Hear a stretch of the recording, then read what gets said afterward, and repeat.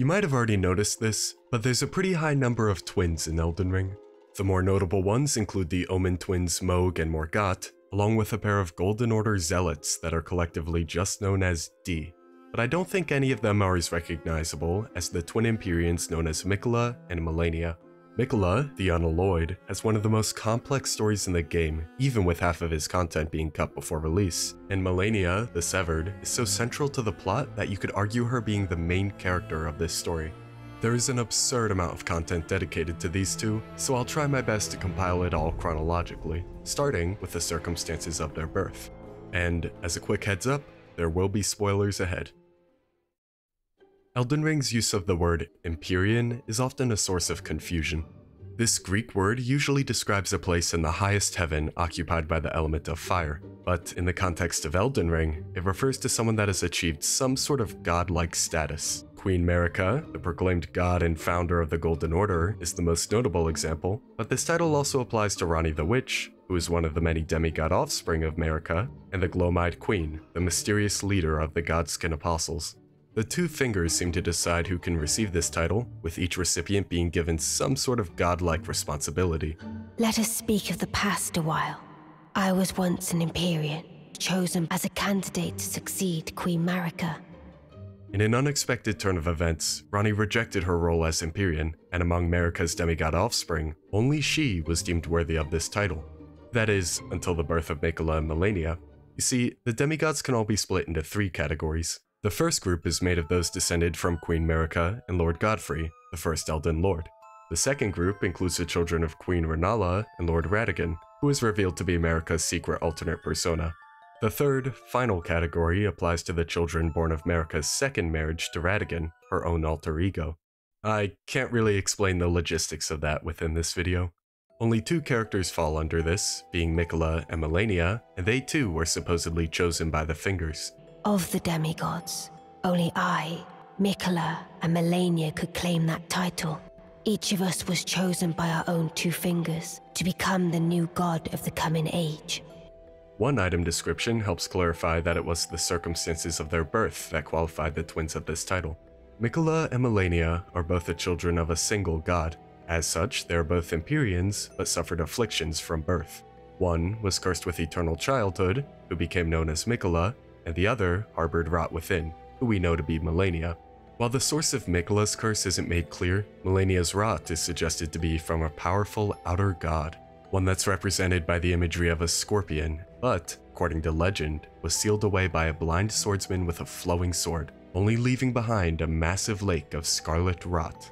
Despite their conditions, the twins seem to have had a relatively peaceful childhood, Miquella followed in Radagon's footsteps and studied the Golden Order, exchanging incantations with his father as gifts of gratitude. On Malenia's side, her scarlet rot began to take its toll over time. Her right arm was the first thing to be lost, and one statue shows Miquella appearing noticeably younger than Malenia. At some point, Miquella abandoned his studies of the Golden Order and instead focused on a material that could treat Malenia's rot, being unalloyed gold. Anything made from it could resist the effects of the scarlet rot, but his primary focus was on a collection of needles that could completely remove the influence of the outer gods once completed. Miquella also had another project he was working on around this time. As you may know, the Erdtree is the source of most life in the lands between, and after death, the souls of these creatures return through the Erdtree's roots. Your soul will return to the Erdtree in time. Honeyed rays of gold deliver this spirit. But much like the Golden Order itself, the Erdtree rejected certain groups and species, notably including those who live in death, the Omen, and the silver-blooded Albinaurics. Miquella's answer to this was the Haligtree, a replacement for the Erdtree that would be more accepting of outcasts. The Haligtree would also act as a physical home for these groups, with one Royal Knight deciding it could be the Albinauric's best chance at salvation. But despite being watered with Miquella's own blood since it was a sapling, the Haligtree ultimately failed to grow into an Erdtree. The Haligtree, now but a husk. It seems those words held weight. Now, ironically enough, it looks like Malenia's own scarlet rot has spread throughout the entire Haligtree, and as you move closer to its roots, the effects of the rot become more apparent. While we're on the subject of the Haligtree, let's take another look at the statues placed around this area. There's one of a long-haired child, who we can reasonably assume is Miquella. Then there's the previously mentioned statue of the twins embracing each other, and there's a third statue that depicts Miquella and Malenia as children, alongside a character that doesn't quite match anything we've seen before. You might assume that this is Marika or Radagon, but the long, unbraided hairstyle doesn't line up with either of those characters' usual appearances. Instead, I think this is Godwyn the Golden, one of the demigod children born from Marika and Godfrey. As the older half-brother of the twins, it would make sense that they got along, especially since he seems to be among the most sensible demigods that we know of. At least, he was, until the event that became known as the Night of the Black Knives. It happened during the golden age of the Erd Tree. Someone stole a fragment of the Rune of Death, and on a bitter night, murdered Godwyn the Golden. That was the first recorded death of a demigod in all history, and it became the catalyst. Soon, the Elden Ring was smashed, and thus sprang forth the war known as the Shattering. The demigods, including Miquella and Malenia, claimed the broken shards of the Elden Ring and began warring against each other in their pursuit of greater power. Obviously, Miquella's permanent childhood prevented him from joining any major battles, but Malenia actually had plans to join the Shattering herself. Her motives for doing so aren't fully explained, but I think one reasonable guess could be that if she and Miquella had control over the Elden Ring, they might be able to ensure that the Haligtree would eventually flourish. At this point, Malenia's rot has progressed enough that she is now missing an arm, a portion of each leg, and both of her eyes. Luckily, Miquella's work with unalloyed gold allowed for the creation of a prosthetic arm, leg, and a full set of armor that could resist the effects of the Scarlet Rot. This was all likely produced by the Lord of the Shaded Castle, whose name I think is pronounced like Mali Marai or Malay Marais. The sons of the Marais family were all sickly born, so despite the disapproval from other Shaded Castle residents, Malay was probably inspired by Malenia's conviction against the Scarlet Rot, which was a legend that he personally believed in. The prosthetic arm in particular is described as a masterwork of craftsmanship, and when Malay embraced it, he claimed to feel the presence of his personal goddess. Now there was just the issue of Malenia's eyes, but if you'll remember, it was a blind swordsman that once sealed away the god of rot. There's one talisman that describes the scene of a heroic tale. Though born into the accursed rot, when the young girl encountered her mentor and his flowing blade, she gained wings of unparalleled strength. Let's loop back around to Miquella for a bit. The events leading up to the Shattering were kickstarted by Godwyn's supposed death, but the consequences of the Night of the Black Knives were more complicated than expected. A curse mark was carved into Godwyn's body to kill him, but since only half of it was completed before the other half was carved into a separate demigod, Godwyn died in soul alone. As his half dead corpse grew more disfigured, he became the source of all kinds of undead in the lands between and earned the title of Prince of Death. Oh, Lord Godwyn. Oh, my poor sweet lordling should have died a true death. A scion of the Golden Bough, sentenced to live in death. How could such a thing come to be? Also, I think it's worth noting that this character is internally called Godwyn's wet nurse. A golden epitaph was made to commemorate Godwyn's death, and interestingly, it was infused with the humble prayer of a young boy O brother, Lord brother, please die a true death. Another weapon, called the Eclipse Shotel, refers to both the Prince of Death and something about the eclipsed sun of Castle Sol. The details of the eclipse are pretty foggy, but one resident of Castle Sol can be seen praying to the frigid sun, requesting that life be granted to soulless bones. This is a fairly obscure topic that can only really be talked about in videos with a much more speculative nature.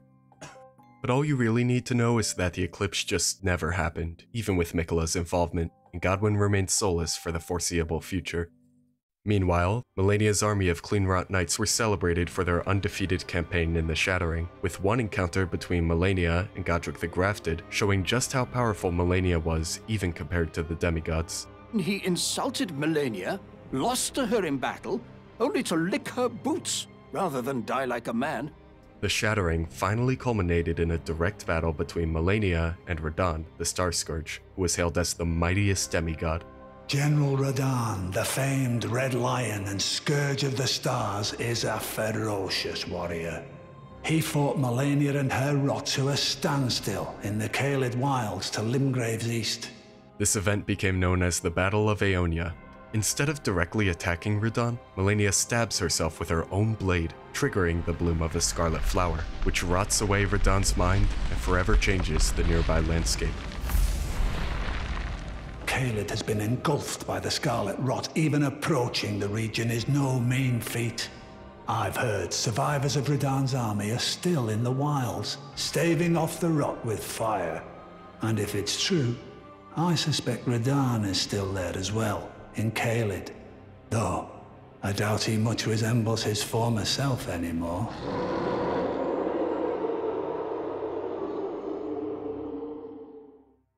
Right after this battle, Malenia was left alive, but unconscious, so one absolute monster of a clean rot knight had to carry her to safety. This knight's name was Finlay, one of the few survivors of the Battle of Aeonia, who, in an unimaginable act of heroism, carried the slumbering demigod Malenia all the way back to the Haligtree. Malenia has yet to be seen by the outside world after this, and even the most dedicated scholars are unsure if she has since been consumed by the Scarlet Rot. Now that we're back at the Haligtree, let's talk about two fairly divisive topics, that being of St. Trina and the subject of cut content. For St. Trina, only a handful of items ever even mention their name, but one thing that these items all have in common is that they relate to sleep in some way. Hey, yo, look who fell asleep first. Prank him, John. While we never get to see them in action, some people claim to have witnessed St. Trina's appearance in their dreams. Some say she is a comely young girl, others are sure he is a boy. The only certainty is that their appearance was as sudden as their disappearance. This, along with clear parallels between items like Trina's Lily and Miquella's Lily, all help support the idea that St. Trina is another identity of Miquella himself. But the nature of their duality still isn't clear. Do both characters have their own mind and soul, just like the relation between Radagon and Marika? Or is St. Trina just a disguise that Miquella can easily assume due to his childlike appearance? There's not much evidence for either conclusion, and nothing in-game even confirms their shared identity. But one piece of content that's a bit more explicit about this is a quest line that never made it into the final game. This quest involved an NPC that had multiple unused names, which included Reeling Rico, Monk Jiko, or just Rico, spelled a little bit differently. After the player met Rico, they would be given St. Trina's crystal ball and collect dream mist from various creatures in their sleep. Go up to someone sleeping and use it. Any dream mist you collect is sure to fetch a fine price. With this dream mist, you could create dream brew, a type of alcohol that's known to drag people's secrets into the daylight. Oh, a brew, is it? I've never had alcohol before. Perhaps you knew that old EG appreciates a good drink. By the end of this quest, Rico discovers the true identity of St. Trina is in fact Miquella, though I'll get more into the details of that later. Just keep in mind that anything not in the game's full release should be taken with a grain of salt. I mean, the signature yellow hue with a flame of frenzy was once intended to be red. With all that out of the way, we can finally look at how the player's journey fits into all of this. By the time you travel through Limgrave and arrive in Caelid, the Scarlet Rot has already spread across the region, leaving the entire landscape a sickly red color. Most of the local wildlife has been mutated beyond recognition, and nightmarish creatures have begun spawning from the rot itself. The kindred of rot, who are occasionally just called pests, are now one of the most prevalent species found in Caelid. And yet, among the countless monstrosities, you might find something that appears familiar. Who's there? If you are wise, you will leave immediately. My flesh writhes with scarlet rot. It is a curse, not to be meddled with by man. Much like what happened with Malenia, this character has been infected by the rot, with her right arm being the first thing to be lost. She's mostly unresponsive, but in a nearby isolated shack, a sage by the name of Gowry can shed some more light on her situation. I need your help to heal a certain young girl. You must find the unalloyed gold needle. It's hidden somewhere in the deep scarlet swamp of Aeonia.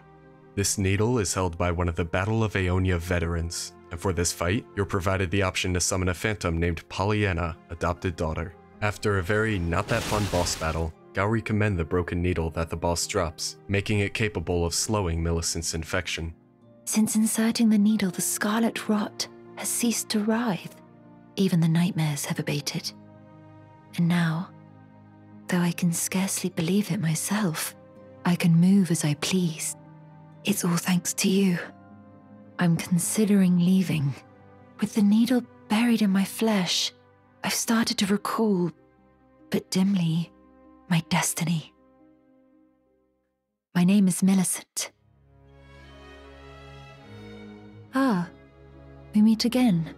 Now I'm tracing the path Malenia took after unleashing the power of the Scarlet Rot during her battle with General Radahn in the Caelid Wilds. I should like to meet her, this vanished woman. I think she's in the north, in the lands that lie beyond the Erd Tree. As Millicent continues with her travels, the sage Gowry will reveal more and more about her past. Do you find it peculiar that I would show such concern for the girl? Well, I'm the one that found her, a mere babe in the swamp of Aeonia. She is one of my dear daughters. But the rotting sickness erodes one's memory. I doubt that she remembers the first thing about me. Please make certain that little Millicent goes unharmed. Like her mother, she has the stuff to be a great warrior, but commands only one arm and is yet preciously young. At this point, you can find an extra prosthesis much like Malenia's in the possession of House Marais in the Shaded Castle. Are you giving me this arm? Thank you. I am in your debt yet again. If the arm serves well enough, it might be possible for me to wield a sword again. Perhaps then I can aid you in battle. Ah, we meet yet again. I'm searching for a fort to the north of the ruins. I heard the master of the fort was given a medallion that allowed him to visit the Haligtree. Indeed, I believe that is where Malenia will be found. Millicent's guess turns out to be correct, with the medallion being guarded by another war veteran in Castle Sol. This general and his army of no nation were likely entrusted with the medallion for contributing to the eclipse, since Miquella's Haligtree would be a perfect new home for them. The one problem is that they were only given half of the medallion that acted as the key. The other half of the medallion fittingly lies with another group of outcasts, the Albinaurics, who choose to protect this key with their lives. The whole village is finished. I beg you, would you look after this medallion? You must keep it out of the cursemonger's hands. My legs will soon fade, and with them my life. This is the immovable fate of all Albinaurics. With both halves of the secret medallion in hand, the Grand Lift of Rold can now lead to the hidden path to the Hillock Haligtree. It's kind of snowy. In Rico's questline, he too would travel through the newly opened path along with the player, noting that a holy personage was once abducted from these lands. Ah, so the secret medallions led you to the land of the Haligtree. I'd expect to find Malenia there. Well, if the Scarlet Rot hasn't eaten her away completely. But with the Haligtree as it is, I suppose Miquella must already be. Ah, my apologies. Lost myself for a moment there.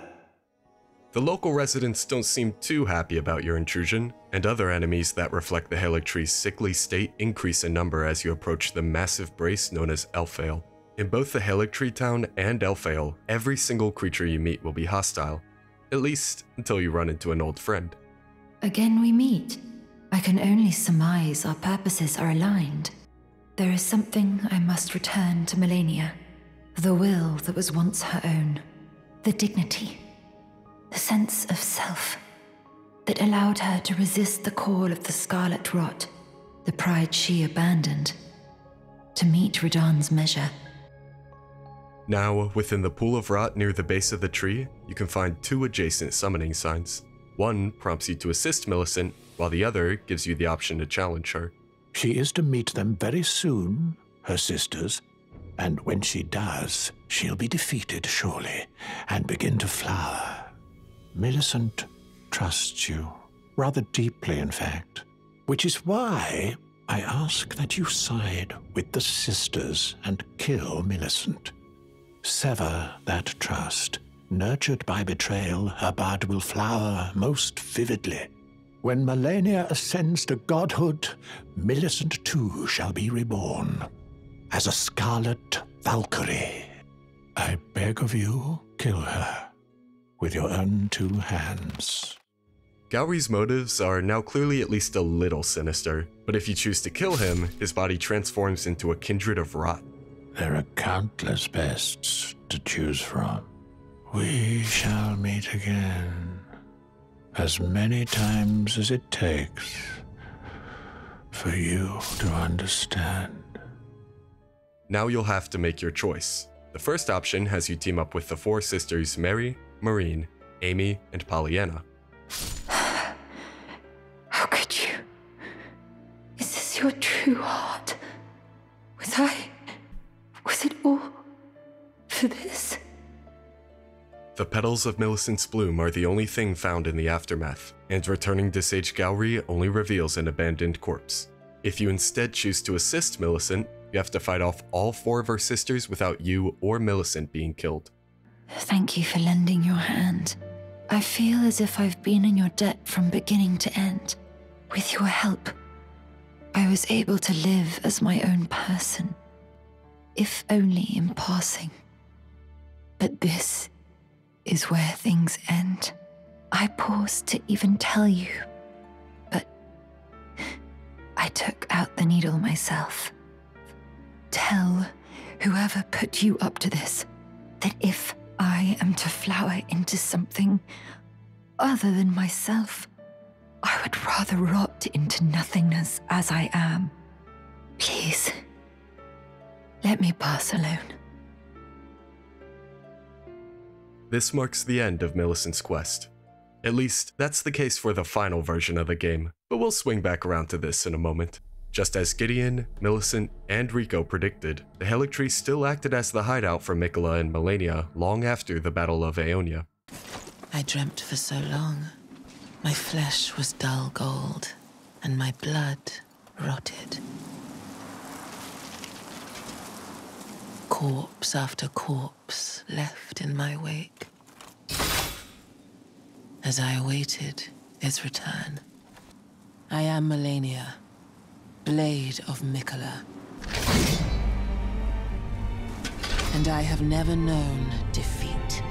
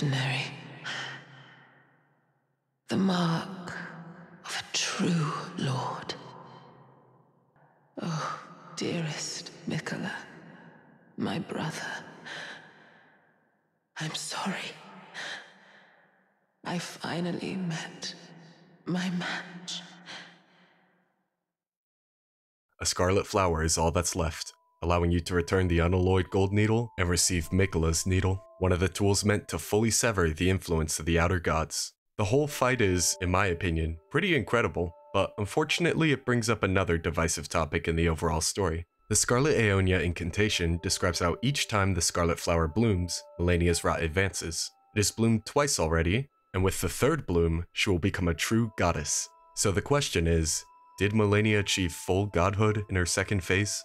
I know some people get pretty upset about lore disagreements, so I'll try my best to fairly represent both sides. Malenia needs three blooms to become a goddess. Obviously, her fight with Radahn was one of these blooms, and her phase transition is another, so where would the third be?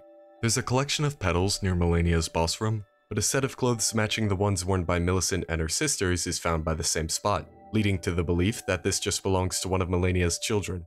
Her second phase is also called the Goddess of Rot, but after her death, you get the message Demigod Felled instead of something like God Slain.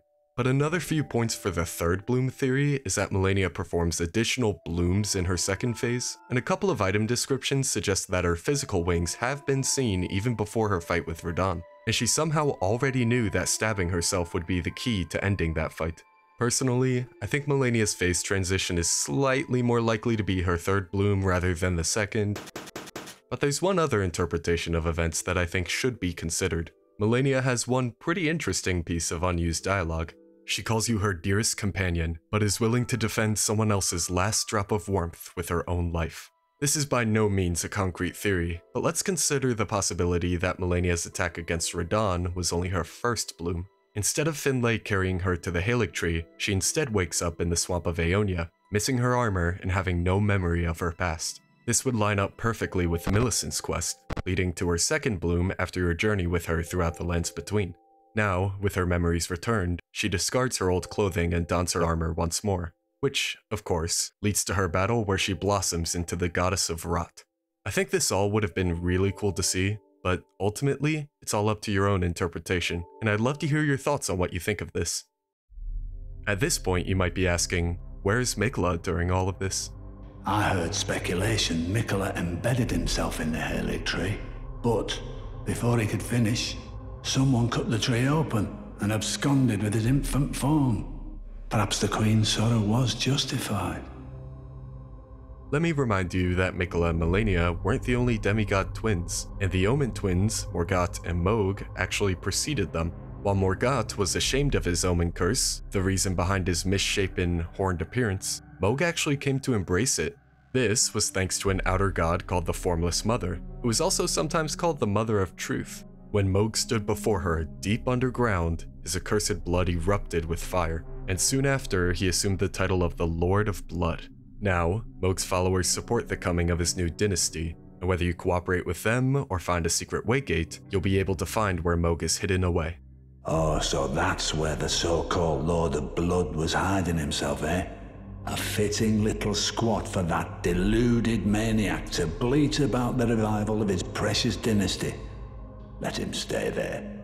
That way, his delusions will remain as they are, distant and unattainable. But perhaps it's worth looking into. If what I've heard is right, then maybe. At the center of the underground mausoleum lies the cocoon of the Empyrean, seated on what looks like an enormous pelvic bone. In Mohg's own words, render up your offerings of blood to your lord. Drench my consort's chamber, slake his cocoon's thirst. His awakening shall herald the dawn of our dynasty.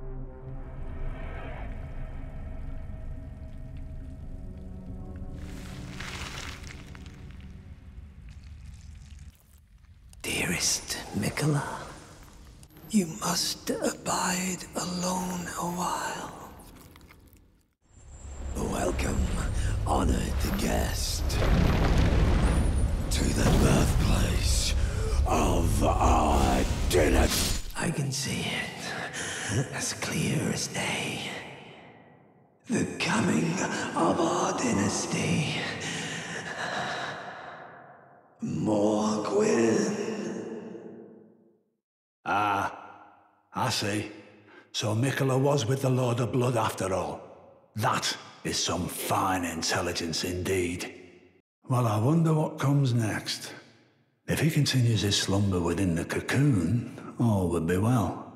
But perhaps it would be safer to destroy it. Miquella is the one thing that remains a mystery to me. Neither Gideon nor Malenia seem to fully understand Miquella's situation, but there's one piece of text that implies Mohg was also partially left in the dark.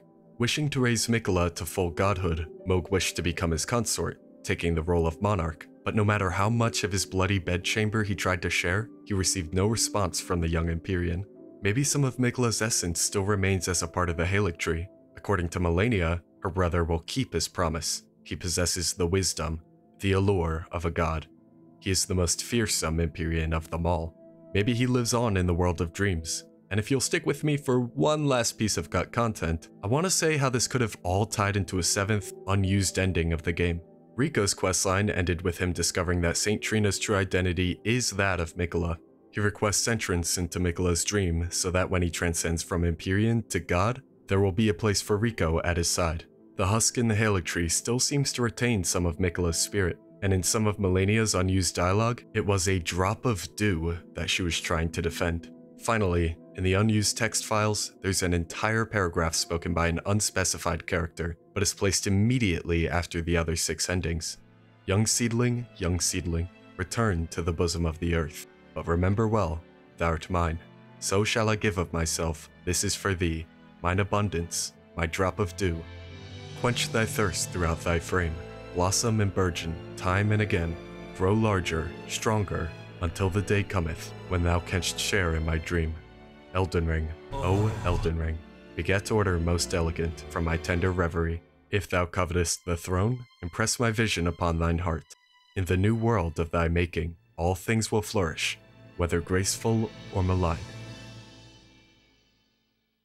So, yeah, as far as I'm aware, these are all the major plot points of Miquella and Malenia's story. There's definitely some room for interpretation, so I'd love to hear your thoughts on the topic as well.